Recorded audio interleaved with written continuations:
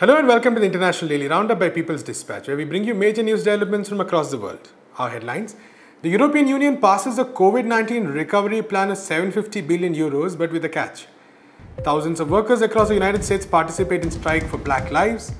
The Egyptian parliament sanctions the deployment of troops in Libya to aid Khalifa Haftar's forces.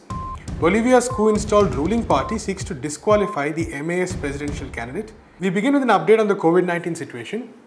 The number of infections has reached over 14.3 million, with close to 604,000 fatalities as of today afternoon.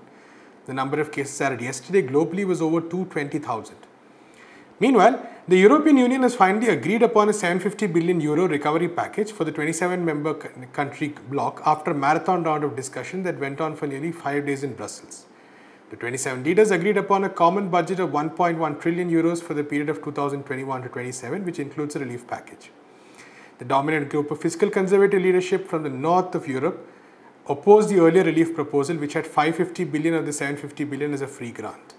Their threat to kill the proposal eventually led to a major reduction in the number of amount of free grants, 390 billion euros. The rest will be repayable soft loans. The northern countries also acquired provisions for a strict implementation of reforms for members receiving grants and loans. Nations that fail to do so can have the flow of funds halted for three months and have their economic policies reviewed by the members. Several Eastern and Mediterranean members who are currently the worst affected were not happy with the plan but compromised to make these funds available. On Monday, thousands of workers across the US participated in a countrywide strike in solidarity with the George Floyd protests. The countrywide strike, called the Strike for Black Lives, was organized by over 60 trade unions and social movements. Participants prominently included workers from essential sectors, including those in the education, gig economy, delivery services, and fast food chains. The strike, which was called early this month, had mass demonstrations by workers in many cities.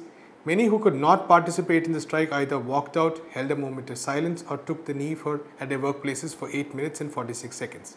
This, this was part of the 8.46 pledge, which marks the exact span of time for which police officer Derek Chauvin had his knee on George Floyd's neck.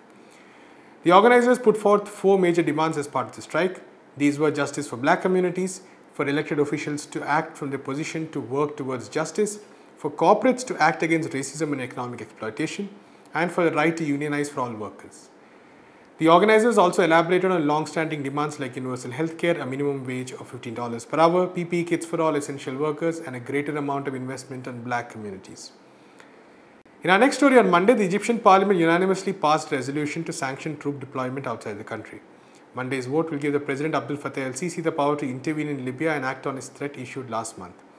Al-Sisi had warned that if the Turkish-backed Government of National Accord or GNA tried to attack the city of Sirte in Libya, Egypt would see it as an attack on its national interests. Sirte is under the control of the Khalifa Haftar-led Libyan National Army or LNA. The GNA forces have been able to end LNA's 18-month blockade of its capital Tripoli and win back a large part of the territory in April. It now wants to regain control over Sirte, which is 450 kilometers east of the capital. The city is considered crucial to reach the oil-producing regions that are currently under Haftar's control. Khalifa Haftar, who is supported by Egypt and other military powers in the region, is also backed by the Libyan parliament based in the city of Tobruk. Turkish intervention and the Egyptian reaction has created the possibility of a civil war turning into a regional war. The war in oil-rich Libya, and as a result of the regime change efforts and 2011 NATO-led invasion, is fueled largely by competing foreign interests despite a UN arms embargo in place. In our next story, Bolivia's coup-installed government led by the far-right Juntos party filed a lawsuit in the Supreme Electoral Court or the TSE to disqualify the MAS presidential candidate Luis Arce. The lawsuit filed on Monday seeks to bar Arce from the upcoming general election scheduled to be held in September. The MAS is the party of former Bolivian President Evo Morales, who was overthrown in a coup in 2019. The ruling party claimed that Luis Arce released opinion polls on the presidential race, which would be in violation of the rules. However, Arce and the MAS have denied the charges, pointing out that he only made a passing mention that he is ahead in the race in recent surveys. They pointed out that he neither conducted nor released these polls himself. The MAS or the Movement Towards Socialism Party denounced what they called attempts to pressurize the TSE to disqualify the party. According to the release opinion polls on voting intentions released in July 7th, Luis Arce is poised to win the elections in the first round itself with 41.9% of the votes and a lead of over 15% over his nearest rival. The opinion poll places Carlos Mesa of the center-right Citizen Community Coalition in the second position with 26.8% of the votes. Meanwhile, the coup-installed president and Juntos candidate Jeanine Áñez is placed at a distant third with 13.3% of the votes.